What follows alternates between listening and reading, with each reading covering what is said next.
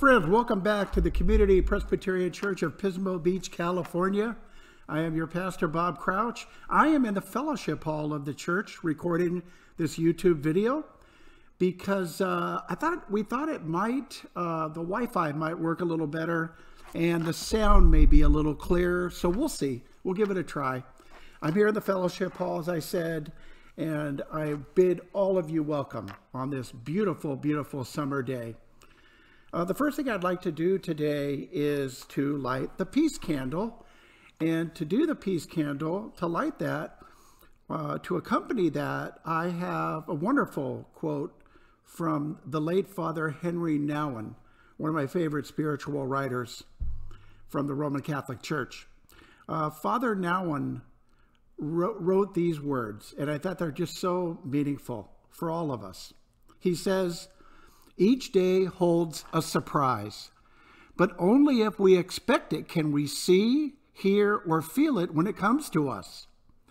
Let's not be afraid to receive each day's surprise. Whether it comes to us as sorrow or as joy, it will open a new place in our hearts, a place where we can welcome new friends and celebrate more fully our shared humanity. Amen.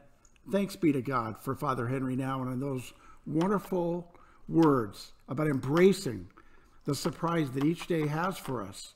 For God travels with us amidst the journey daily and is always bringing new things into our vision and to our hearts. I light the peace candle now.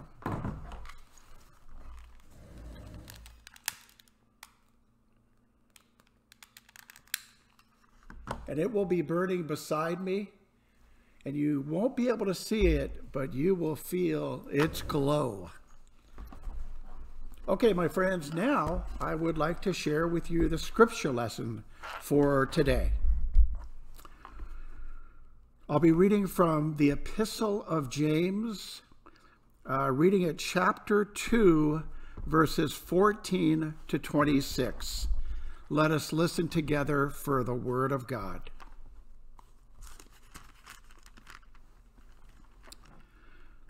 James writes, what does, it, what does it profit, my brothers and sisters, if a person says he has faith but has not works? Can his faith save him? If a brother or sister is ill clad and in lack of daily food, and one of you says to them, Go in peace, be warmed and filled, without giving them the things needed for the body. What does it profit? So faith by itself, if it has no works, is dead. Someone will say, You have faith, and I have works. Show me your faith apart from your works, and I by my works will show you my faith. You believe that God is one. You do well. Even the demons believe and shudder. Do you want to be shown, you foolish fellow, that faith apart from works is barren? Was not Abraham our father justified by works when he offered his son Isaac upon the altar? You see that faith was active along with his works, and faith was completed by works. And the scripture was fulfilled, which says, Abraham believed God, and it was reckoned to him as righteousness. And he was called the friend of God. You see that a person is justified by works and not by faith alone. And in the same way, was not also Rahab the harlot justified by works when she received the messengers or spies and sent them out another way?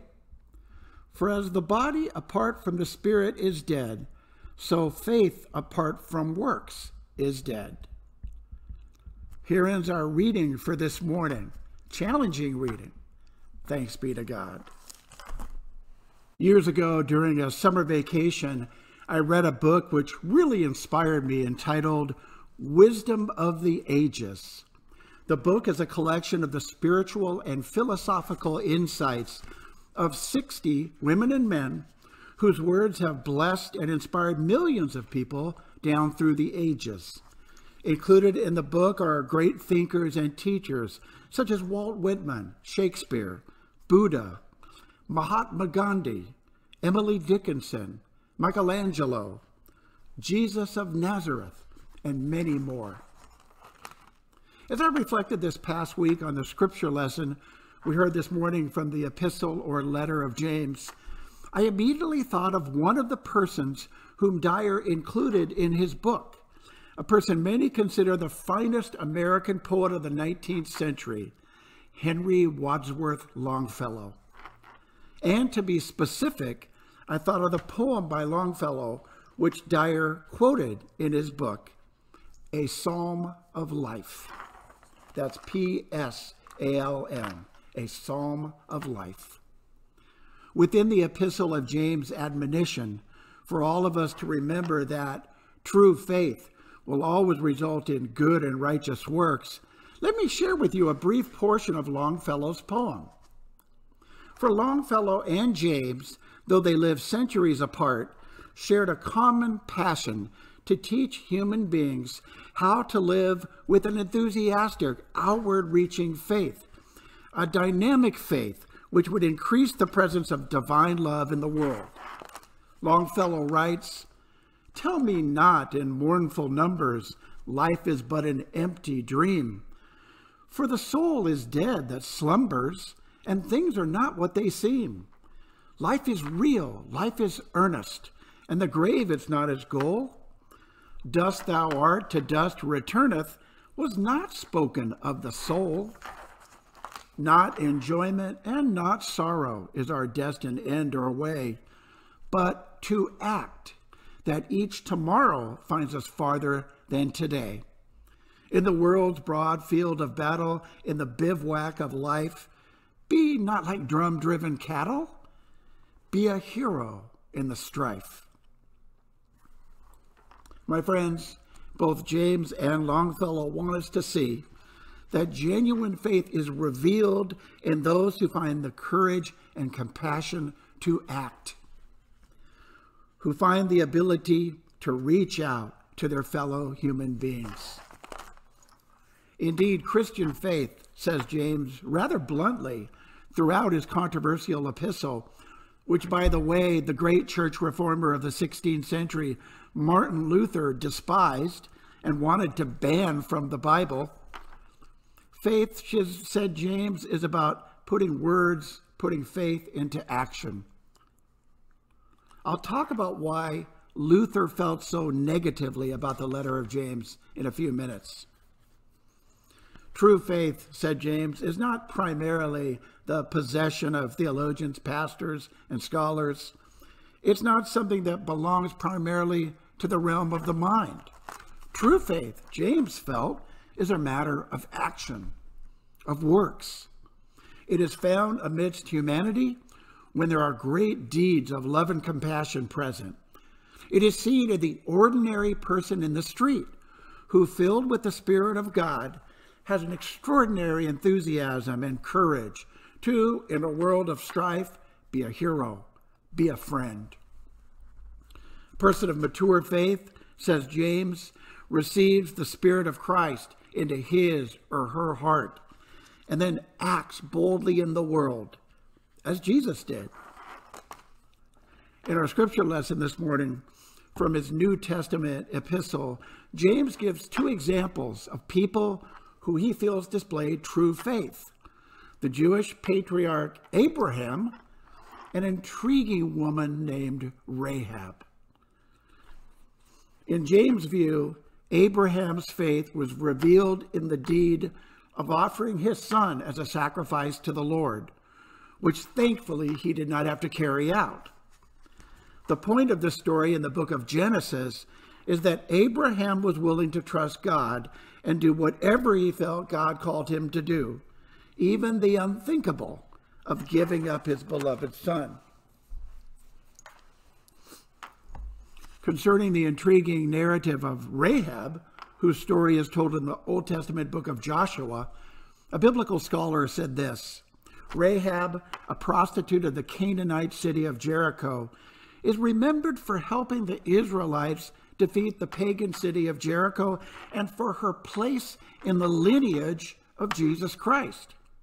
Yes, this woman was part of Jesus' family tree. Rahab's story begins during the invasion of the city of Jericho by the Israelites. Jericho, as I said, was a large Canaanite fortress city, and it was directly in the path of the Israelites, God's chosen people, who had just crossed the River Jordan. Before proceeding into battle, Joshua sends two messengers or spies into Jericho. The king of Jericho heard two Israelite spies were in the city, and so he sent troops to search for them. Although Jericho was a fortress, the less fortunate people lived outside its walls. Rahab and her family were poor and ran a tavern right outside of Jericho's walls. And actually, their home was built into the wall. Rahab was known to be a prostitute, and many men visited the tavern. One evening, two strangers came into her establishment. Right away, Rahab knew something was up. Rahab was a smart woman, shrewd, and she realized these were no ordinary men, they were spies. She realized there would probably probably be an attack on Jericho, and she would have to take action immediately to survive. She told the spies how the citizens of Jericho had been fearful of the Israelites ever since the Egyptians were defeated in the Red Sea saga. Rahab agreed to help the spies escape if she and her family were spared in the upcoming battle. Rahab hid the two spies on the flat roof of her house under large bundles of flax. When the soldiers arrived to look for the spies, Rahab lied and told them they were not there. The soldiers searched the tavern, but Rahab had hidden the spies well. The Jewish messengers or spies agreed to protect Rahab and her family, but explained that she must hang a scarlet robe out of the window so the Israelites would know which home to spare. The Israelites crossed the Jordan into Canaan and attacked the city of Jericho. The city was destroyed with only Rahab and her family spared. Ultimately, Rahab married a man named Salmon, an Israelite from the tribe of Judah. Rahab's son was named Boaz, the husband of Ruth. Joseph father of Jesus, is thus Rahab's descendant. Somewhere I read, the Lord works in mysterious ways. Friends, Abraham and Rahab put their faith in the action, though with very different motivations. Abraham acted out of obedience, Rahab out of a desire to protect her family. Yet both were used as instruments of God's will and power in the world. They both found the courage to do what they believed needed to be done. We heard James say that a faith without works, one where there is a lot of talk about love for God, but where no action is done in God's name, is a dead faith. Sadly, we see such faith today in Christians who profess love for God yet have no compassion or concern for refugees, or for black people who have endured institutional racism for generations. We see dead faith in Christians who say they love God, yet ignore the way our toxic lifestyles are slowly destroying the planet Earth, which God created and called good. Now let's explore for a moment why the great reformer Martin Luther was so critical of James. I think it's because he misunderstood him. Luther thought James was contradicting the Apostle Paul's central teaching that humanity is saved by grace and not by works, which, by the way, was a key teaching of the 16th century Protestant Reformation that Luther and John Calvin risked their own lives to share. But the great church leader Luther read the epistle of James and seems to have got it wrong. I believe what James was trying to say with his emphasis on deeds was that true faith always bears fruit. Luther is right We are saved by grace, not by our good deeds. But James is correct as well in that good deeds are the hallmark of true faith. Friends, you and I are called to embrace such faith, to enthusiastically walk our talk of God's love and compassion amidst humanity. In other words, to practice what we preach, to practice what we proclaim in faith. When we do this, when we put our faith into action, then we make the name Jesus not just the special and sacred memory of a hero in the past. Christ becomes a real and living hero in the present, a spiritual presence which heals, empowers, and transformed, and is revealed, is revealed through our very words and deeds. Christ is revealed in your deeds and my deeds. The grace of God enables ordinary people to do extraordinary things. It enables the church to be the body of Christ in the world. Henry Wadsworth Longfellow yearned that all people would realize life is short, but the road is long. Thus, he urged humanity to act, saying, Be earnest, embrace today with enthusiasm, be the light wherever you encounter darkness. Now, I read this past week about a retired Presbyterian couple in Stockton, California, Cheryl and Douglas Hunt, who, to use Longfellow's words, embrace each day with enthusiasm, are earnest in nature, and strive to reflect God's healing light wherever they encounter darkness in the world. And that's one thing that Christians have in common. We don't run away or shirk from darkness. We seek darkness so we can bring Christ's light there. Sometimes it's the darkness of sorrow. Sometimes it's the darkness of loneliness or illness or some other challenge.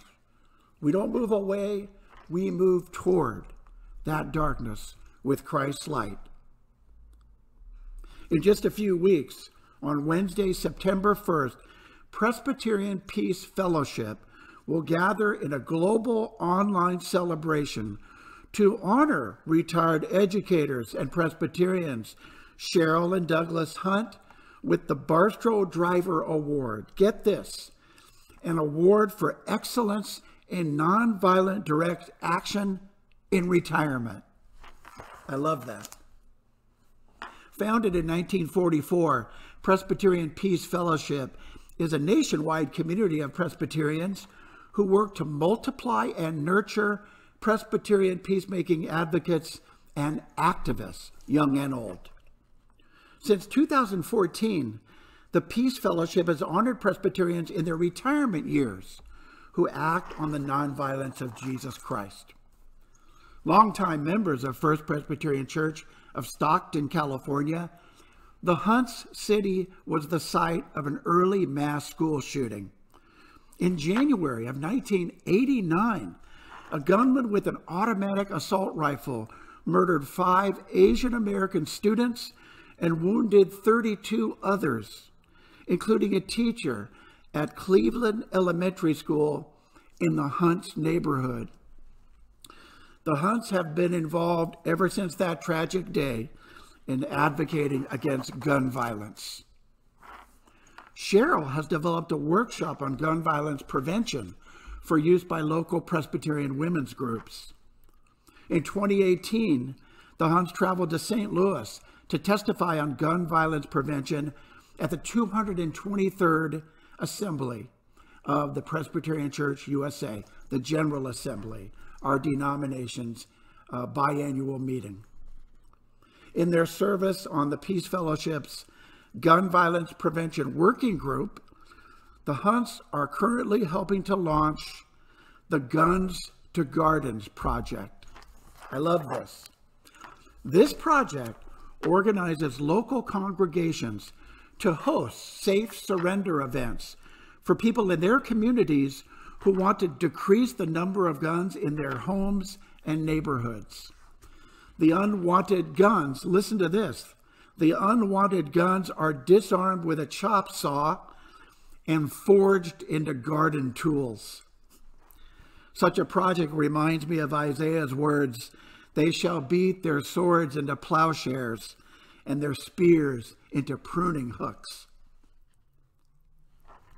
Reflecting on the Barstow Driver Award, the Hunts stressed the importance of the relationships built when walking with other people as Jesus did. Through their work on the issue of gun violence, they found partners who have become cherished friends. A great gift for the Hunts is that their sons have committed to sustain their projects. When asked why they are investing so much time and treasure during retirement on these challenging experiences, Doug said, We want our grandchildren and our children to thrive in a more peace filled world. Friends, reminded by retirees Cheryl and Douglas Hunt of how people young and old can put their faith into action, faith into works in countless and creative ways.